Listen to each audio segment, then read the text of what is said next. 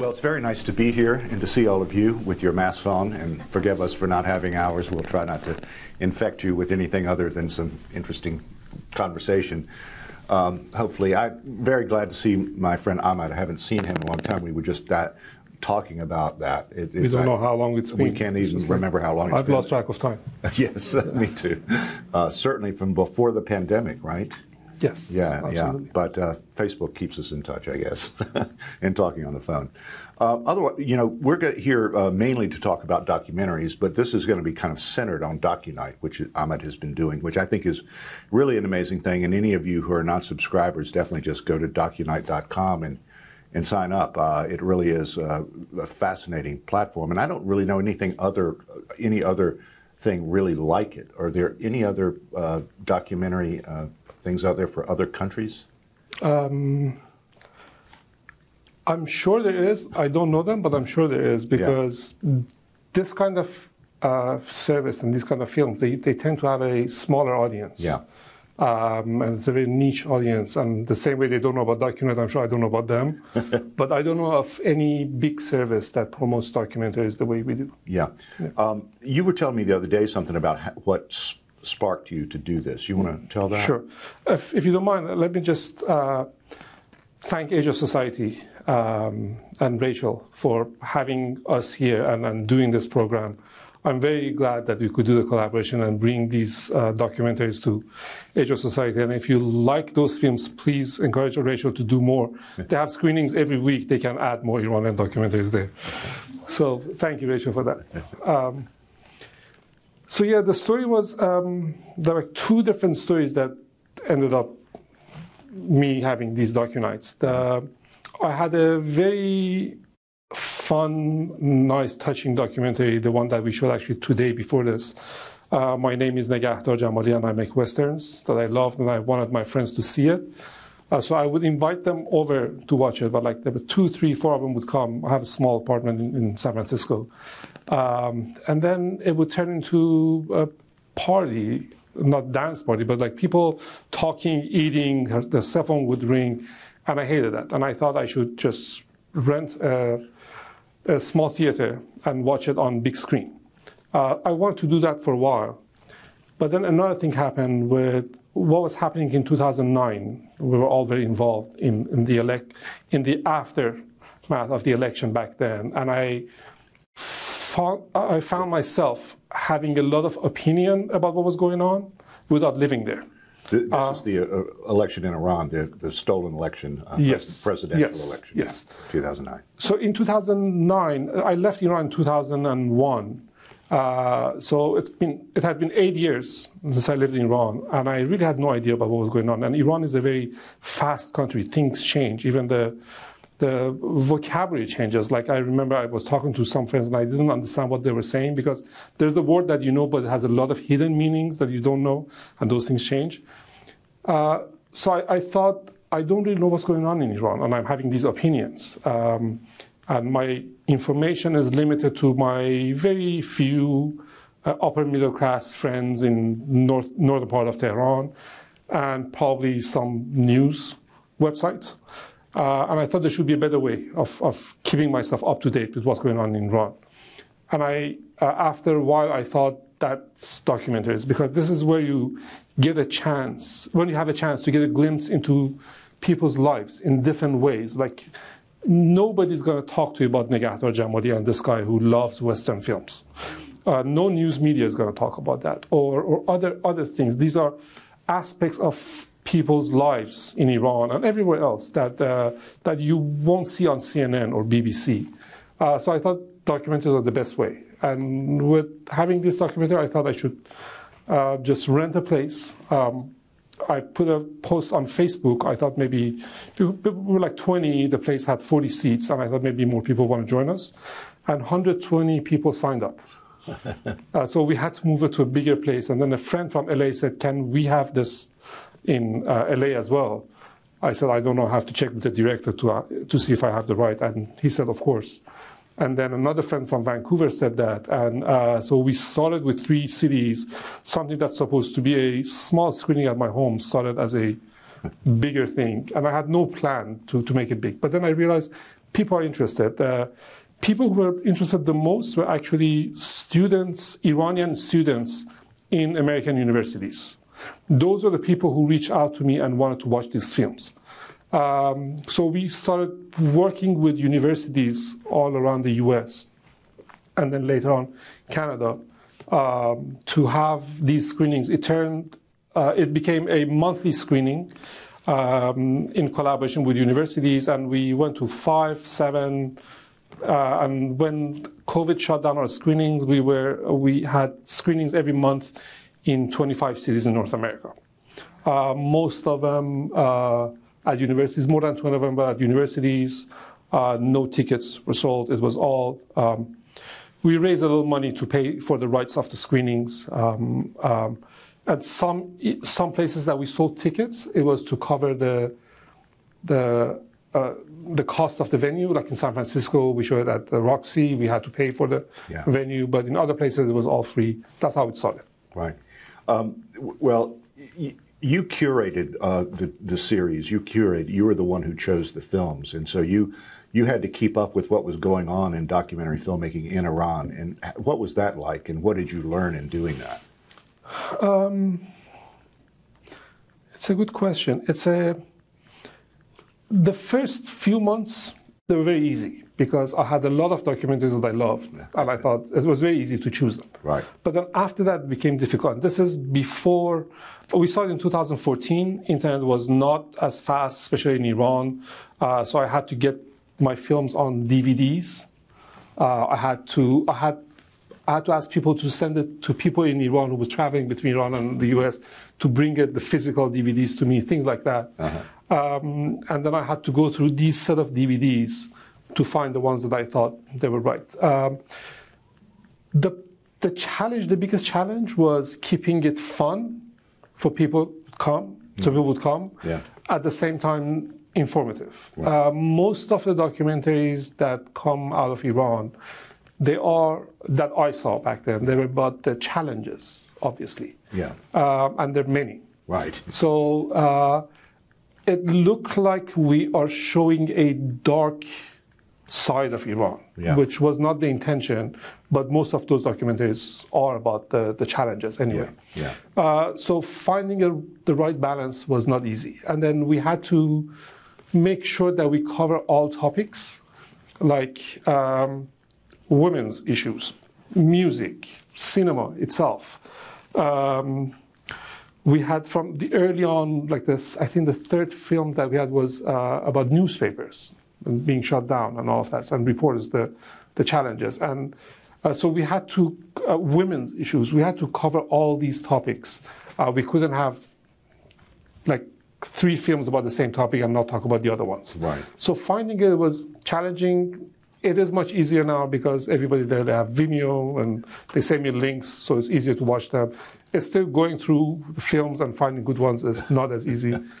uh, but now that we have actually now that we have the streaming service, is much easier because the it's a different standard. Yeah. I would say it's not necessarily they're bad films, but there's some films that have limited audience. Yeah.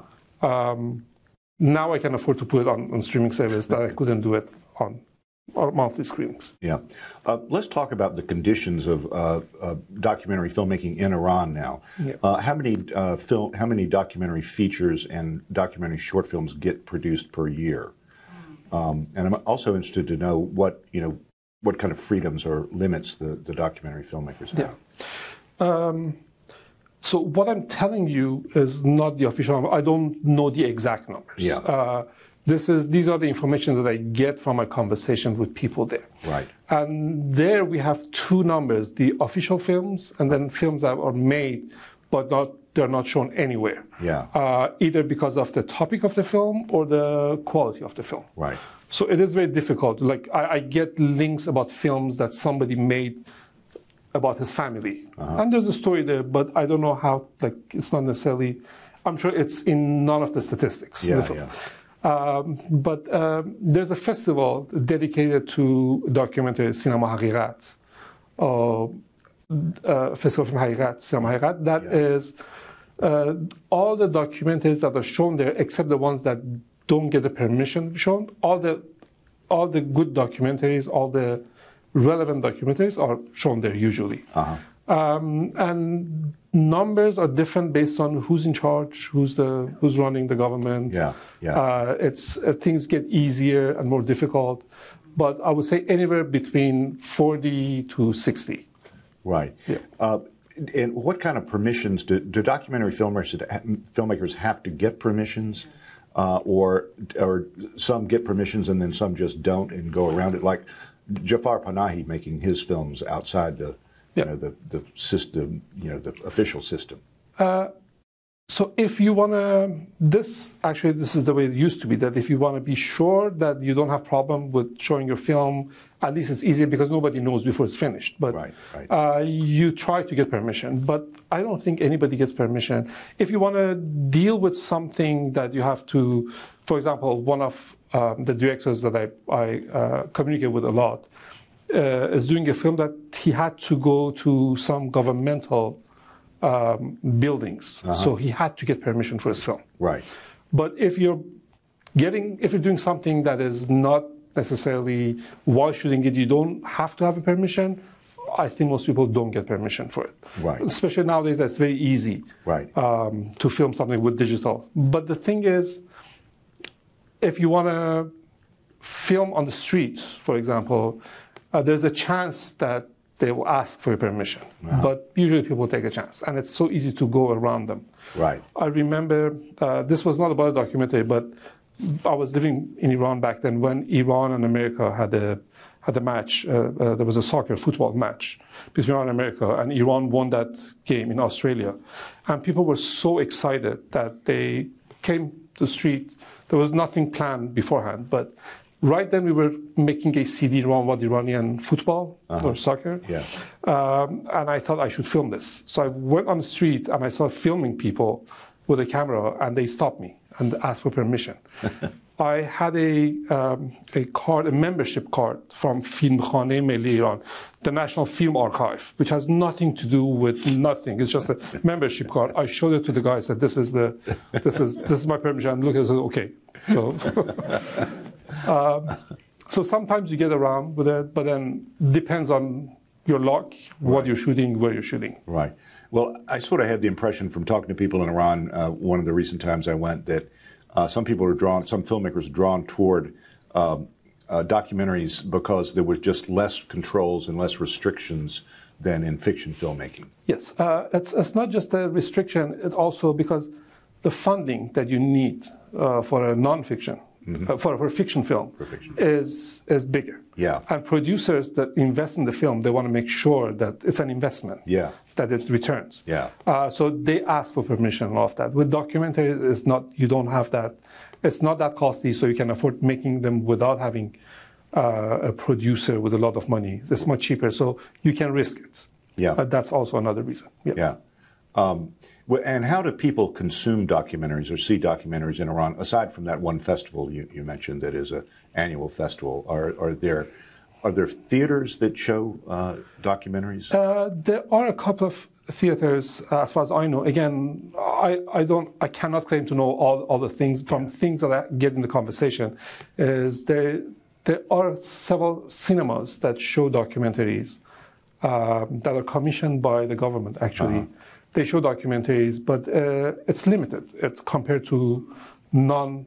Yeah. Documented compared to fiction, it's much more limited. But the, I think it's more than here. I would say more than the U.S. At least in San Francisco, where I don't know what's happening in New York, but, but in San Francisco we don't have that. Well, in, in you know in, in the U.S. Um, in, in the '90s, uh, documentaries sort of broke out uh, commercially, and things like Michael Moore's documentaries, uh, Bowling for Columbine and Fahrenheit 9/11, were huge moneymakers. They were big hits, and that sort of Yeah. opened the doors for uh, documentaries to be in theaters and art houses and such. And I think that you know that obviously goes on now. I didn't know if there was any equivalence to, to that in I, I haven't heard of Yeah. anything. And- uh, all, all the top sellers that you see in Iran, uh, they're usually entertaining films yeah yeah. that people go to take a break Right. from their life. And, and do docu- Iranian documentaries get much exposure internationally, especially at festivals? I, I, I know at places like Cannes and Berlin and uh, Venice and such that very occasionally there'll be documentary films, but, But not, but don't they occasionally have documentaries anyway? Well, occasionally have documentaries anyway. But well, occasionally. Yeah. No, no, I mean general. yeah, in general. They, In general, they, occasionally they don't have that many documentaries to begin with. But yeah, but you look at hot docs. yeah, hot dogs. They usually have one or two films from Iran. right. Yeah, So if you look at festivals dedicated documentaries, you usually see documentaries from.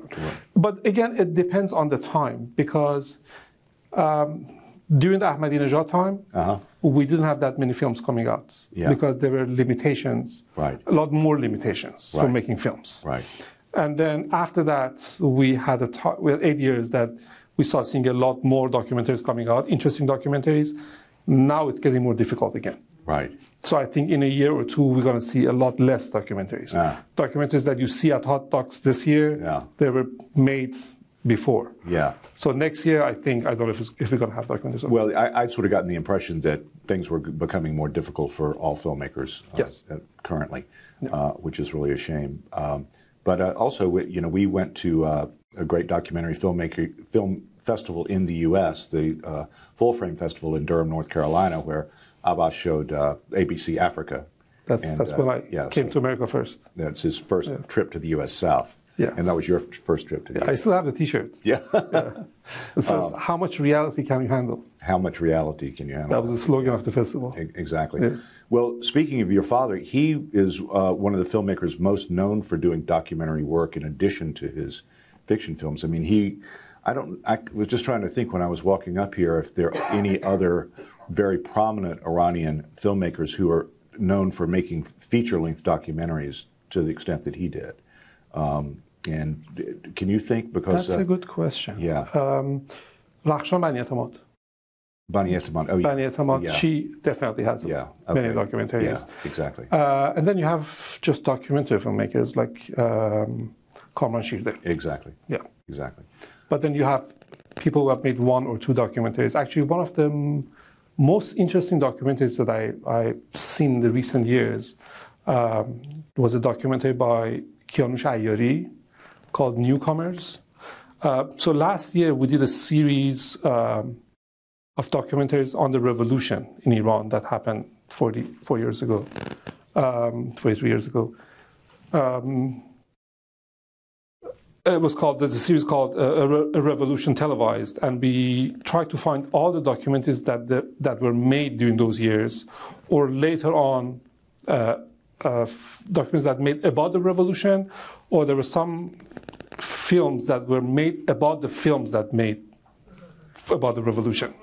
Uh, and one of the most interesting ones uh, was newcomers by Kianush Ayari and he basically just uh, started filming people on the street, what was going on. And there's so many weird scenes in that film that it's impossible. Like, you don't read about those anywhere, about things that people were saying, like, and then doing, uh, theater that they were doing, and it's so.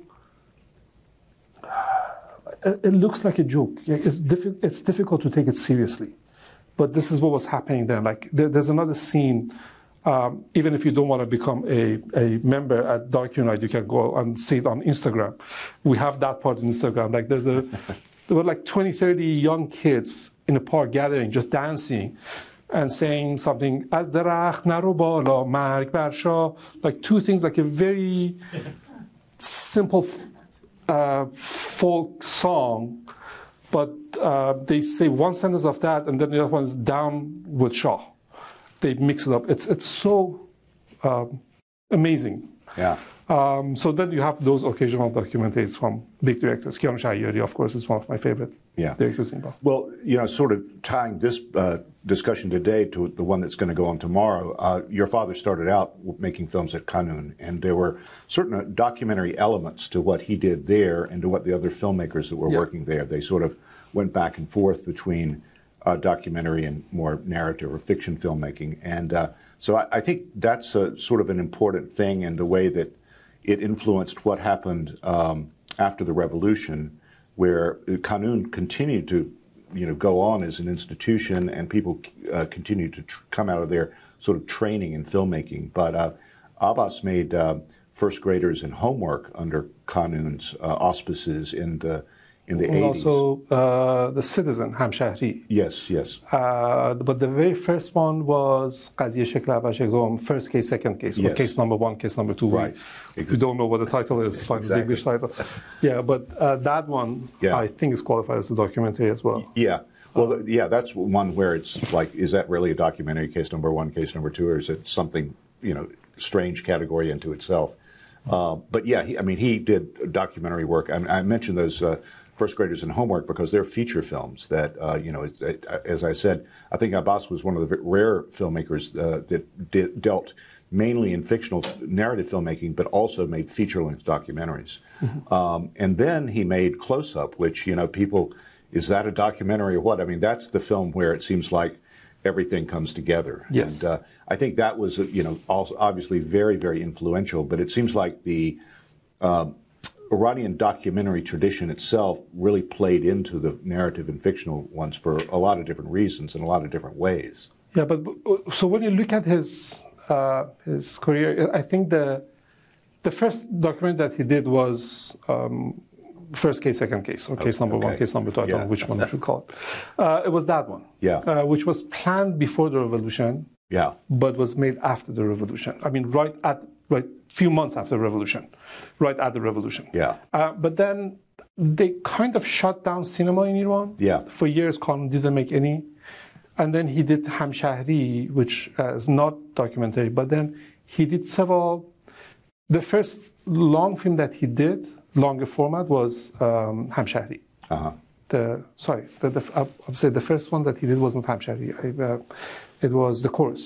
The chorus, Hamsarayan. that's- that's right. Yeah. Hamshahri. And also the Tartib ya Bedun Tartib. But these are short films for children. Yeah. Uh, but then he did Hamshahri, The Citizen, Right. because it was more difficult to make films. This is my interpretation. I might be wrong. I don't know. But Right. uh, because it was more difficult to make feature-length films in Iran, and those were challenges that he was dealing with. Uh, his short films, the stories always came from the challenges that he had in life. Like, I was going to school, things that was happening to me that I don't remember, but he he, he found interesting, and then he would make a film about that Yeah. uh, that topic. But Hamshahri was about people trying to cut in and go into a a part that they couldn't drive in. Uh huh. yeah. Uh, and Qanun was inside that area. Right. And people would come up with all these excuses, false excuses, to just get permission and go in. Right. Uh, and then he started making documentaries, like you said, first graders. But later on, when he stopped making documentaries, again, he made another one a few years later, ABC Africa, Yeah. Exactly. which changed the way he made films. Yeah. Because that was the first digital film that he made. Yeah. Um, and I think it's one of the first feature-length uh, digital films that were that are made anyway. Right. He made in 2000. Uh, those that's supposed to be just uh, visual notes that he took from his trip, Yeah. and he's supposed to go back and make the film later right. on. But Yeah. then he decided to use the same those footages and make his film. So, Right. uh, it I think documentaries changed the way he made films as well. It was a back and forth between what was happening, like, and then he's realizing, oh, we can, I can do it this way as well. Right. Uh, and as you said, many people in Iran have realized those capabilities, I would say, and, Yeah. and use it in the way they were making films. Right. Yeah. Exactly. Um, I wanted to talk a little bit about uh, the earlier history of documentaries in Iran, especially in the 60s. There were a lot of short documentary films that uh, really established a tradition, it seems like, that helped lead to the, you know, the explosion of talent in the Iranian New Wave in the 1970s. But I was wondering, do you have access to any of these films? I mean, Forough Farrokhzad's uh, film, uh, The House is Black, of course, is very famous, and that's been out there. But I know that there are a lot of other films from Ibrahim Golestan and from Kamran Shirdel, who you mentioned, uh, that were very important in that era, and uh, most of them short documentaries. Are, are you able to access those? Does those are those films still in existence? That's a very good question, something that I've been working on for a long time now. Is that right? Uh, and this is one of those things that we couldn't show at the monthly screenings, Yeah. but I hope to have all of them on DocuNight. I've been um, I've been trying to find ways. Uh, some of them they don't have copyrights anymore. Uh-huh. Uh, but they're in bad condition. Some of the films that we found for, from the revolution, um, including a film by um, Amir Naderi, Uh-huh. we had to do a, I can't recall the restoration, but we did some digital enhancement Uh-huh. to make it look better. Yeah. We did the same thing with Kianush Ayari's film. Yeah. Um, we have all of Kamran Shirdel's films, all of them. Wow. Uh, and we didn't have anything, uh, Film Khane restored those films. Uh-huh. So, uh, and Kamran Shirdel generously gave us permission to put his films on the, on the platform. Uh, I've been trying to get Khosrow Sinai's films. His son is here, and he was actually the person who was running um, DocuNight um, somewhere in the, East Coast. Uh-huh. I think he was in MIT. Uh-huh. Um, so I would try to get the permission for those. And I, uh, Nasser Taqwai is another one. Uh, he has very important films. Yeah. So I'm working on it, and I hope to have. I, I've been um, pulling some strings trying to, to get those films, and I hope that I can. I hope so too. And does the National Film Archive in Iran have these films? Yes. Yeah, that's They- what I they was- have it. Yeah, but it's they're, they're kind of a strange organization, aren't they, as far as getting access to things? Uh, it is, and I have to say that the lady who's been running it for a long time, she's done a great job. Oh, good. Because it's not easy to have an organization like that and have it there all these years. Yeah. Because something comes up and they shut down the organization. I think she has done a fantastic job. She has a lot of limitations about what can come out, what Right. cannot come out. So that's the strange part that you Right. you're talking about. But there've been screenings when I was in Iran. Like I said, I was a member of this uh, film archive, Film Khane. Yeah.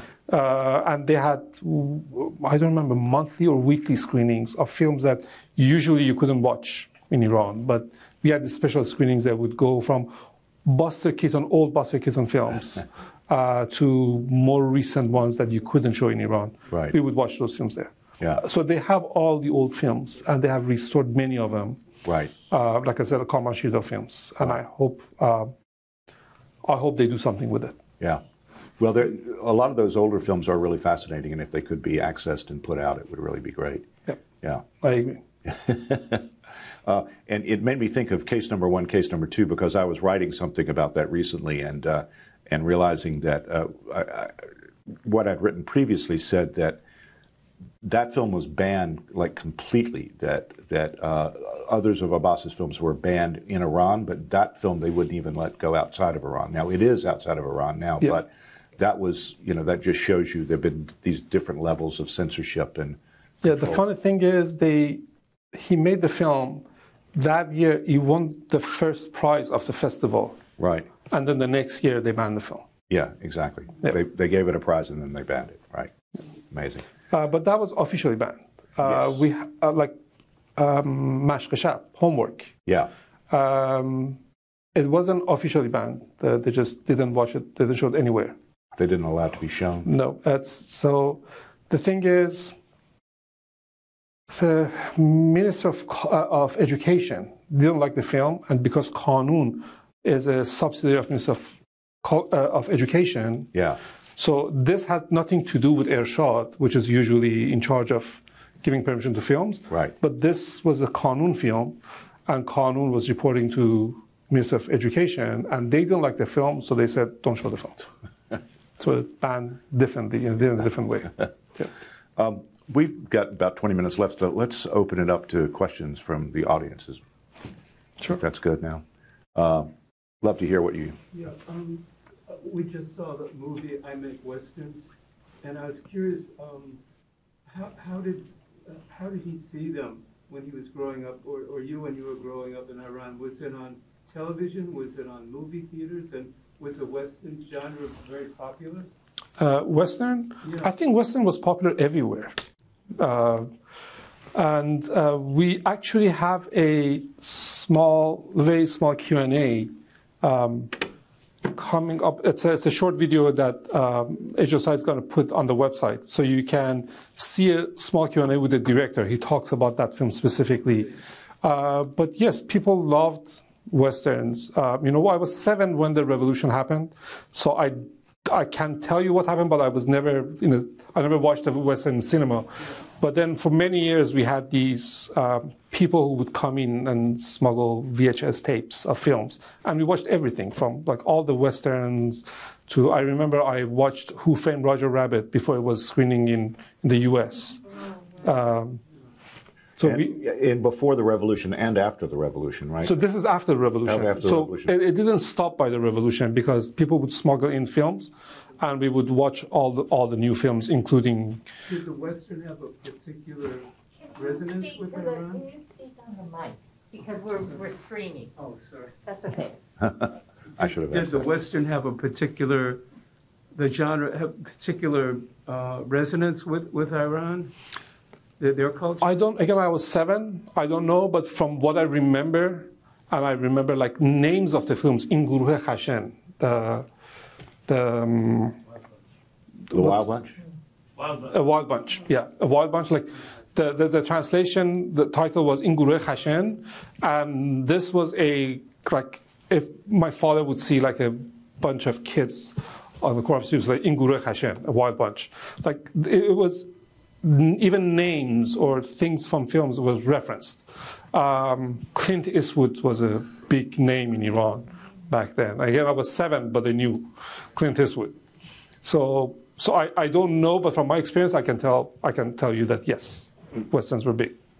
My first time staying by myself in the Hotel Naderi in downtown uh, Tehran, uh, they had a, a, a TV in the lobby, and the first thing I saw that first night was Shane on the on TV, and there were there were other other westerns after that, and also there were there was this culture of people who dubbed the voices like of John Wayne.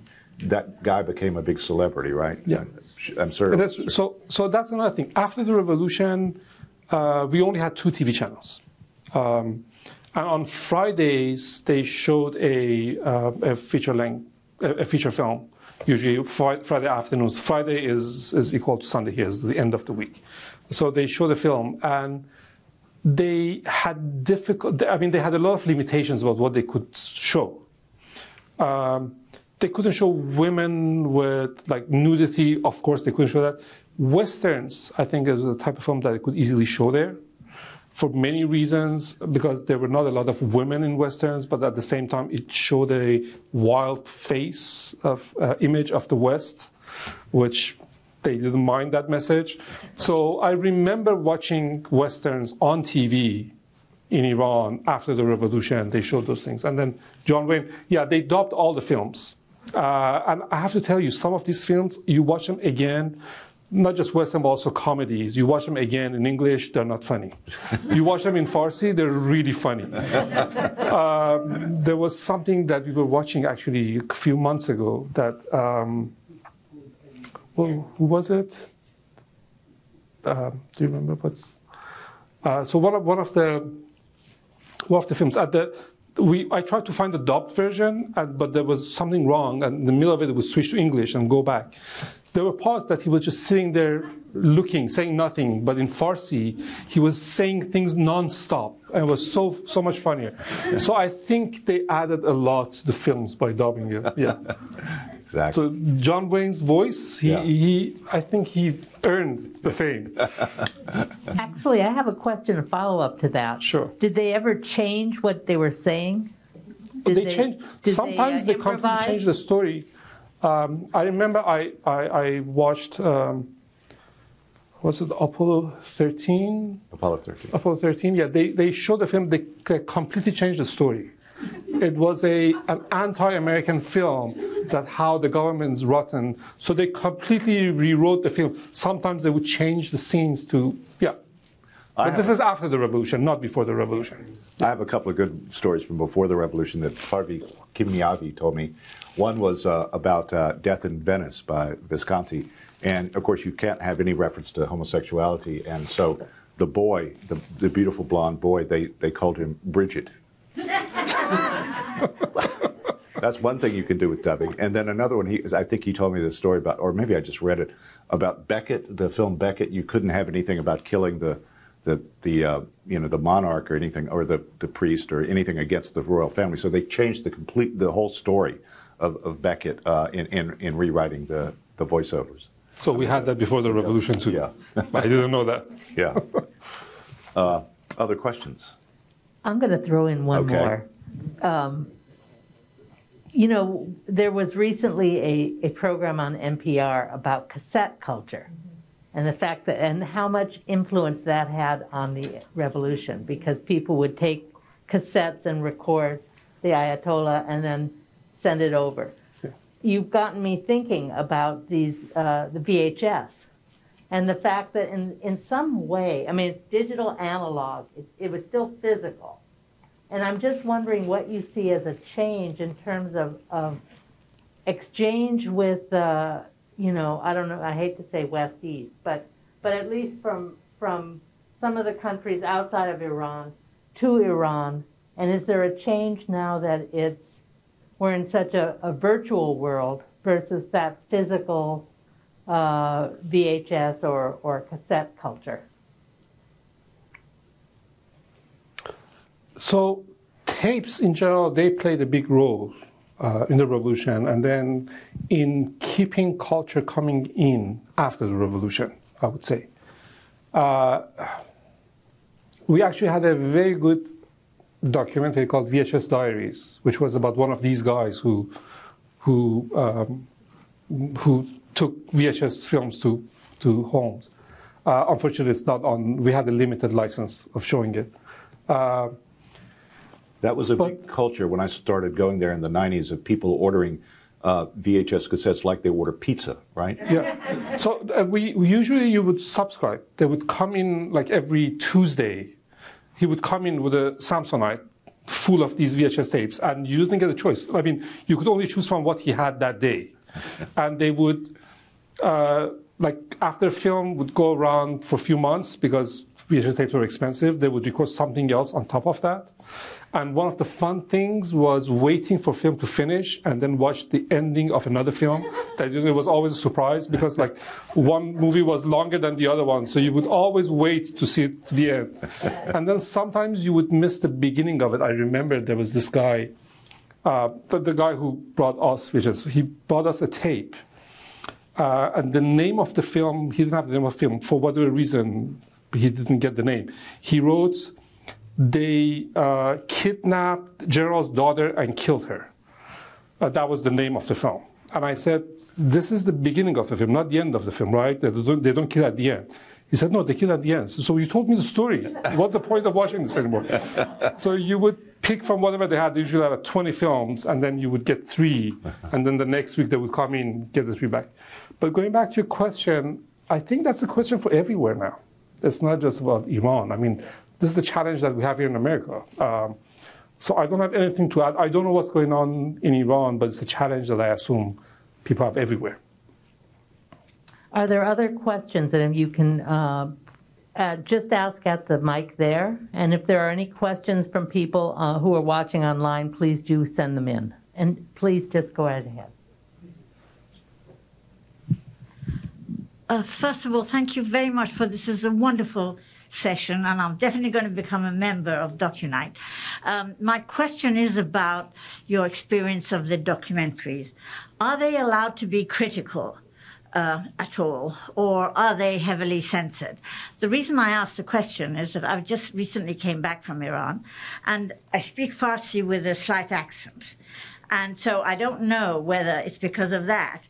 Every single person I came across uh, was very critical of the regime and everything else. And I don't know whether they were critical because I was a foreigner in their mind or whether that's prevalent. So I wondered, in your watching the documentaries, is it easier to be critical now than it used to be? So I think people have always been critical. I mean, if you write a cap, you get people's opinion, and they criticize everything all the time. Uh, I think it was the same in, during the Shah and same after the revolution. Uh, I don't think there, that's anything new. Uh, watching in the films, um, I think because you don't, it's cheaper to make films digital. I don't have to go through the all the problems that you, that were there before to getting permission and all of that. It's easier to get films that are, um, I wouldn't just say critical, like anything that doesn't fit in the frame that they have usually. For it's easier to make those films, but then it's more difficult to show them. And of course, you can always send it outside and show if it's a good film. But then if it's too sensitive, then you're going to have limitations making films inside after that. So it's always, it's an art. And I would say it's not necessarily a bad thing. Um, of course, there's so many bad things about it. And I know that if you just take this part out, it's going to be completely out of context. But it helps people be more creative. Uh, when you say something very bold and direct in face, it's, it's activism. When you say it with, which is not a bad thing, but it's, it's activism. When you say it with art and find creative way of saying it, when you, when you say it with creativity, it becomes art. And I think it lasts longer. Sometimes you have to be an activist, sometimes you have to be an artist. Uh, some people are activists, some people are artists. So it depends on which way you want to go. But I think these limitations make people more creative and the end result lasts longer. Like you look at Kamran Shirdel's films, which were very critical of the situation back then, before the revolution. You can still watch them. They still have things to say. It's still interesting. Um, but you see other things that are very powerful in, in an activist way. They're kind of irrelevant now when you look at them because problems are not there anymore. We have a, we are dealing with a different kind of problems. So the film become uh, irre- irrelevant. Thank you. Thank you. Another question? Any other questions? I'll ask one more of you. I was curious to uh, know about. Uh, you produced, you were working as a producer on Coup 53. Uh, what did you learn in doing that about documentary filmmaking?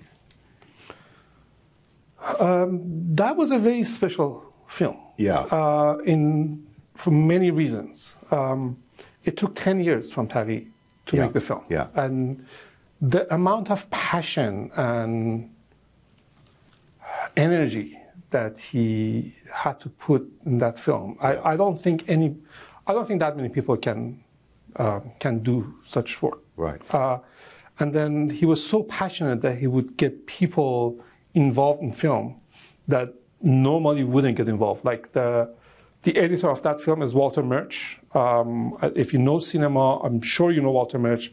Um, he's the probably the most famous film editor in the history of cinema. Yeah. Maybe he did Godfathers. Yeah. He kind of invented, you can correct me wrong, the 5.1 Dolby sound. Yeah. Uh, so getting him to edit a film about uh, an Iranian documentary is not an easy easy thing. But uh, so I don't know if I can ex- I can say that is the usual way of doing things in documentary. But there, there's one saying that I love. So it's fiction film. Director is God. In uh, in documentaries, God is a director because you start, but you never know where you're going to end up and what you find. Exactly right. Yeah. Yeah, and, and my experience in making a couple of documentaries is that it really does take, take just incredible determination and you know stick to itiveness to get to the end. You just have to keep going, keep going, keep going, no matter what. Yeah, he, uh, Godfrey has a, a documentary, uh, "Moving Midway," Yeah, about my family's about his, plantation. yeah, his family's plantation. It's a it's a and fun, that just fun. took forever. And I, I tell documentary filmmakers, just one piece of advice I have is to pray for miracles because it always takes several miracles to get to the end of the road. I think the most important thing is so unlike feature films, I think documentaries are made uh, in the editing room. Yes. You go in without having a specific story. If you have a specific story, it's not a good documentary. Yeah, yeah. So you go in. So editor's job is very, very important, and I think it's important that for the director not to edit his film. Yeah. Well, I, in my experience, I have to work with the editor, but I have to let the editor be the editor. Yes. Yeah, you need somebody and you have to let things go because uh, I, I find this part of the documentary filmmaking is very interesting to me uh, that you go study about the topic and usually film directors who they become the, one of the most um, people who know knowledgeable people about that topic, whatever the topic is, because they spend few years working on it. And then you do interviews, you do different things, and then you end up with six hours. You have to cut it down to two hours, an hour and a half, or an hour. And then at some point where it gets to like two hour, two hour, two hour and a half, it's very difficult to cut it any shorter, and you have to cut out big chunks of the film. Uh, that'll become very difficult for directors to do it. It is because That's the challenge that we had with Coup 53 as well, because you know how much important the story is, and uh, you spend a lot of time finding it and filming it and editing it. It's not easy to let it go, but if you have somebody next to you to push you, to force you to let it go, then you're going to have a tighter, better film. Yeah, that, that's that's really true, and you have to let go of some of your favorite moments and your favorite scenes and everything like that, just Yeah. to, to get the story where the story needs to be. And the storytelling all does happen in the in the editing room, and the writing of a documentary happens after the filming. You know, which is completely counterintuitive versus the narrative, where you make sense that you write the film and then you go shoot it. In the in the documentary, you go shoot it and then you figure out how to How write to say it, Yeah, yeah. how to say it. Uh, have you got any more ambitions or thoughts about making another documentary or getting involved in more documentary production? Maybe I've been actually thinking about making a documentary myself for a, for a while. Um, not because I'm, I, I, you know, I made this decision many years ago that I don't want to make films. I want to Yeah. stay out of it. But so not because I'm passionate about making documentaries. That's a great job, but I thought I would never do it. But it's a topic. It's somebody that I very much um, admire uh, and he um, he's dealing with Alzheimer's. I think his story needs to be told. It's a very important story in this world that everything is black and white and polarized. He's the he's he's somebody who uh, sacrificed everything, his family, risked his family, his um, his life, literally, Yeah.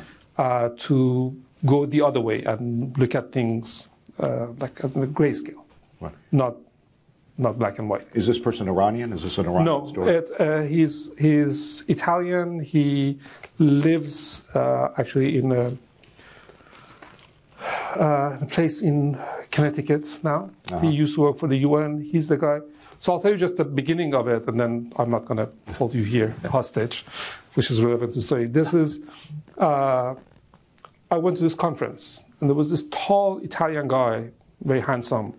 Um, one of the first things that he said was, "I ended Iran-Iraq war." I'm like, "What the hell is he talking about?" Like, like one person, like I ended. I was like, "He's crazy." And then he started telling stories, and all the stories made sense, but I couldn't believe it. So I had to go uh, I researched the guy and I learned that he was telling the story. He single-handedly ended Iran-Iraq war, which is a, I understand, it's a very big claim that I'm making right here. But uh, he he's the person responsible for ending, ending Iran-Iraq war. Uh, his title was peacemaker. He worked for the UN. Um, his name is uh, Dr. Gian Domenico Picco. Um, and then later on, of course, nobody knows about this the story. But then the second part, people know about the story, don't know him. Uh, if you lived in the US or in the West, you may remember the hostage situation in Lebanon uh, in late 80s and early 90s. Um, uh, Hezbollah in Lebanon took hostage, uh, took several Western uh, journalists hostage from the US and from Germany and the UK um, he went and offered himself as a hostage to, the, to Hezbollah and negotiated uh, with number two at Hezbollah, Ahmad Mughniya, uh, negotiated uh, in a way like he was stripped down naked, just underwear, blindfolded, hands tied to his chair, negotiated the release of these people. And he did, each time he went in, he came back with two people and went in again, and he did several times. Um, and it's not about the political side of it. I'm not interested in politics, but the the way he talks about people and humanity and the world and why he did it. Um, Ahmad Mughniya, again number two at Hezbollah, uh, they ask asks him that why are you here? This has nothing to do with you. You're Christian Italian. There's a war between us and the United States and Israel. What does it have to do with you? and he says, um, he said that I was sitting there thinking that the way I answer this is gonna decide the fate of myself and these seven hostages. Um, and I have to understand that I'm translating from Italian to English. He's, in his way, he's translating from English to Arabic.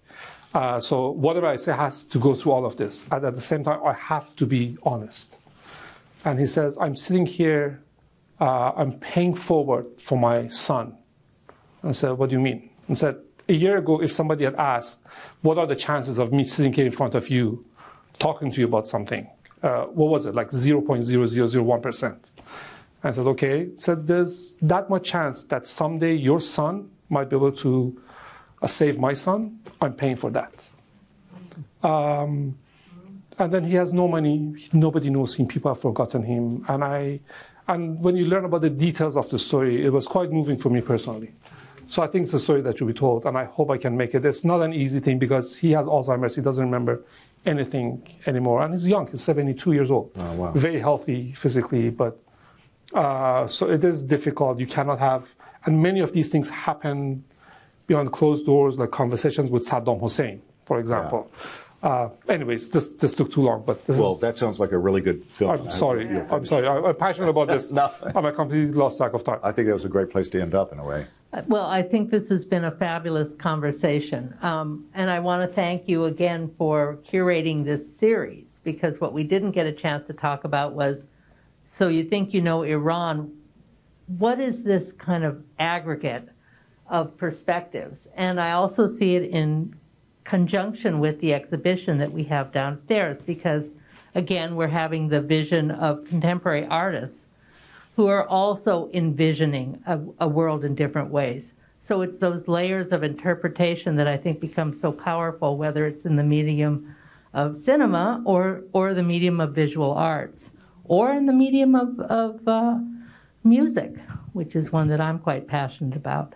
So I want to thank you for, for being a part of, of this series and, and helping really think about this, for keeping all of the uh, filmmakers in Iran for these films engaged. So, one of the things that's been exciting is that although we're here in New York City, this is being tweeted and uh, Facebooked and YouTubed out to the world and will be online, but available to people uh, and to these very same filmmakers in Iran. So, I want to thank you both, and I want to thank all of you for being here today. Rachel, I want to also say that you know that these people they make films because they care about the topic and what they do, and I'm very happy that we were able to give these films, limited number of films, uh, a new audience, a new stage, because it's very difficult to show documentaries anywhere. It's not just for Iranians. Like any documentary filmmaker has that that challenge, and I'm grateful for that, uh, for you helping me. And one thing that we discussed at the beginning, we went through a lot of discussions every Thursday um, about the topics that we covered because we wanted to cover different topics. But there's so many other topics that we didn't have a chance. Um, and I hope that in the future we we get to cover those as well in in in the part two and part three of these series. I look forward to that. And, and I do want to say, I, I want you to subscribe to DocuNight. But I also want you to join the Asia Society because the Asia Society's goal is to be able to share just these stories. And of course, we're a not for profit, and, uh, and we try to pre- create a platform in which multiple views come together in a, in a three dimensional way. So we have policy programs, but I think unlike other think tanks, uh, we bring in the arts and we bring in the creative people, and very much what you just said, which had to do with all the metaphors that you come up with to tell stories in. We're all in some ways in restrictive situations where there are censors, whether they're self censors or, or others in our society. And so finding other ways to tell that story is really important. And I agree, that's the longevity. The longevity is finding those other ways so those stories become relevant, not just to tomorrow, but on into the future.